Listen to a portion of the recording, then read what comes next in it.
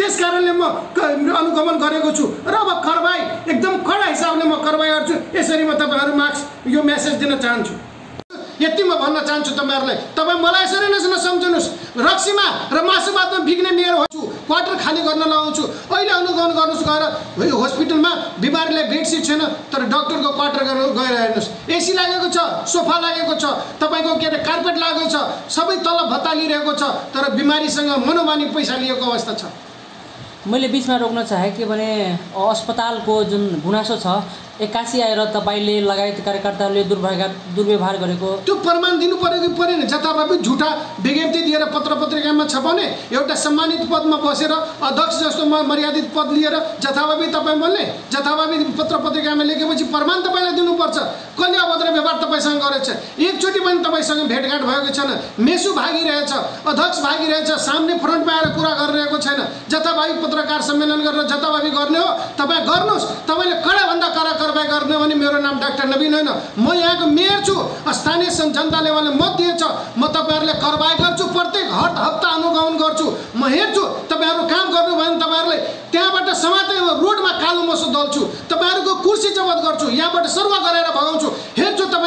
तागत छ। जनताको गुनासो छ जनताको गुनासो सही पार्नको लागि मैले जुन कदम चाल्नुपर्छ म चाल्नको लागि तयार छु। कहिले पनि म पछाडि हट्दिनँ। यसरी बुझ्नुहोस् तपाईँहरू तपाईँहरू डक्टर हो तपाईँहरू गुन्डा होइन तपाईँहरू नेता होइन नेताहरूले पोस्ने काम गर्नुहुन्छ रक्सी मासुको पसल खोल्नुहुन्छ क्वार्टरमा रहेर दलाल प्रवृत्ति फटाहरूले पोल्नु पोस्नुहुन्छ रक्सी मासु खुवाएर डिस्को डान्स गर्नुहुन्छ त्यो सबै समाप्त गर्नुहोस्। नत्र तपाईँहरूले जुन कारवाही छ त्यो सबै कारवाही गरेर म एउटा नगर प्रमुखको हिसाबले सिरा नगरपालिकाको जनताले सुख सुविधा बाधा अवरोध गर्नुभयो भने तपाईँहरूले हस्पिटलबाट म निकाल्छु तपाईँहरूलाई कोठाबाट म निकाल्छु सुख सुविधा म सबै सिज गर्छु। यसरी तपाईँहरू बुझ्नुहोस् तपाईँहरू धाक देखाउनु भयो भने तपाईँहरूले लट्ठीले कुट्नुपर्छ भने त्यो पनि म आफ्नो हातले इस्तेमाल गरेर तपाईँहरूमाथि म वार गर्छु भने त तपाईँहरू सुध्रिनुहोस्। आफ्नो आफ्नो जिम्मेवारीलाई वहन गर्नुहोस् आफ्नो आफ्नो पदीय मर्यादालाई बनाउनुहोस् आफ्नो आफ्नो ड्युटीमा सही समयमा काम गर्नुहोस्। सही समयमा स्टाफ डक्टर म डक्टर नवीन कुमार यादव सिरा नगरपालिकाको नगर प्रमुख। तिन दिन पहिले एउटा घटना भएछ। त्यो घटना चाहिँ सिरा नगरपालिकाको स्वयंसेवक कर्मचारी को भएको छ र त्यसमा घटना भए लगत्तै बिमारीलाई लिएर हस्पिटल इमर्जेन्सी सेवामा पुगेको छ र त्यहाँ पुग्दाखेरि तपाईँको न डक्टरको व्यवस्था छ न इमर्जेन्सी रुमको व्यवस्था छ न इमर्जेन्सी रुममा भएको उपकरणहरूको स्रोत साधन छ। त्यहाँबाट मलाई फोन आएको तपाईँको नगर प्रहरीको एक्सिडेन्ट भइसकेको छ तपाईँ छिट्टो आउनुहोस्। अनि म जाँदाखेरि त्यहाँ एकजना मात्रै कर्मचारी काम गरिरहेको अवस्था छ। न त्यहाँ अक्सिजन सिलिन्डर थियो न बेडसिट थियो न त्यो बिमारी राख्ने टेबल राम्ररी थियो।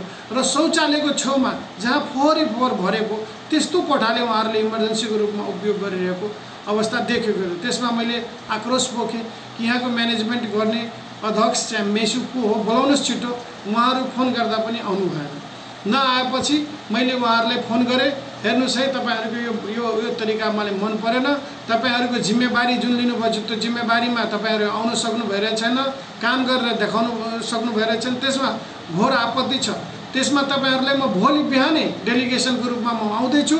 त्यसमा तपाईँहरू त्यहाँ उपस्थित बस्नु होला त्यो मसँग आउने डेलिगेसनमा पत्रकार साथीहरू पनि हुन्छ। तपाईँको हस्पिटलको जुन वातावरण छ त्यो सम्पूर्ण वातावरणलाई हामी अनु अनुगमन गर्ने र पत्र पत्रिकामा हाल्ने। तपाईँहरूले माथि माथि बाहिर चिटिक्क देखाएर एक नम्बर स्थान हासिल गर्ने। तर भित्र तपाईँको के अवस्था छ त्यो सबै कुरा जनता जन जनताले पोखिरहेछ।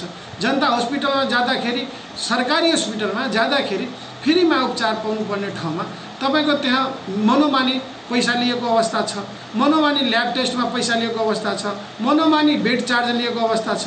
औषधिमा जुन सरकारी अस्पतालबाट पाउनुपर्ने सुविधा त्यो अहिलेसम्म देखिएको छैन। जनता जनतासँग लिनुपर्ने जुन एउटा जनताले पाउनुपर्ने एउटा जुन सुविधा हुन्छ सरकारी हस्पिटलमा त्यो छैन। तपाईँ दुई दुई हजार तिन तिन हजार बेड चार्ज लिने अहिलेसम्म नेपालको कुनै पनि हस्पिटलमा जानुहोस् त सरकारी हस्पिटलमा कुन ठाउँमा छ? दुई हजार तिन हजार फिस।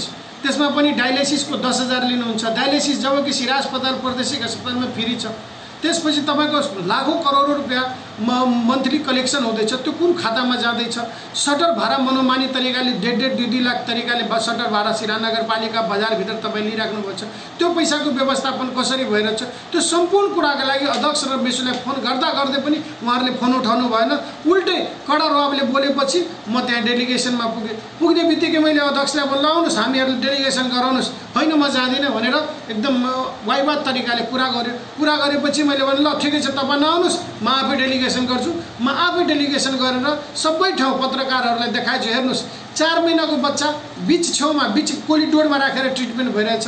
एनआइसियुको व्यवस्था छँदा छँदै त डक्टर छैन स्टाफ छैन केही छ केही म्यानेजमेन्ट छैन तपाईँ भिडियोमा हेर्नुहोस्। सरसफाइ शौचालयमा पानीको व्यवस्था छैन गेट छैन अनि प्रादेशिक अस्पताल अ, मन्त्रीले र सांसदलाई मासु भात खुवाएर एक नम्बर ऱ्याङ्क लिएर आफू तालीको गरगराहाट बजाएर बेवकुफ बनाउने जनताले त्यस्तोमा म कहिले पनि मान्दिनँ। म सिरा नगरपालिकाको नगर प्रमुख हो।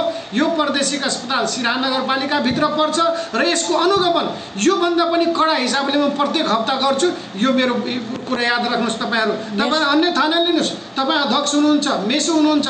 तपाईँ सही समयमा डक्टर भएर काम गर्नु भएन भने तपाईँको सरुवा के तपाईँले जे कडा कडा कारवाही गर्नुपर्छ त्यसमा म पछाडि पर्दिनँ। तपाईँ यसरी बुझ्नुहोस् तपाईँ नगर प्रमुखको अगाडि तपाईँले यहाँ नगरको मापदण्डमा बसेर काम गर्नुपर्छ। यो प्रादेशिक अस्पतालको सुख सुविधा लिने सिरा नगरपालिकाको जनता हो र जनताले मलाई आएर गुनासो पोकेछ जताभावी पैसा लिने जताभावी तपाईँको मनोमानी कुरा गर्ने धम्की दिने त्यस्तो शैलीहरू जनताले मलाई सुनाएको छ। छैन भने म फेरि पनि अनुगमन गरेर गर्न तयार छु र बाइसवटै वार्डको जनतालाई उतारेर म तपाईँको समक्ष। एकछिन म तपाईँले भन्न चाहन्छु सिरा नगरपालिकाको मेसु एक दिन पनि हस्पिटलमा बस्दैन।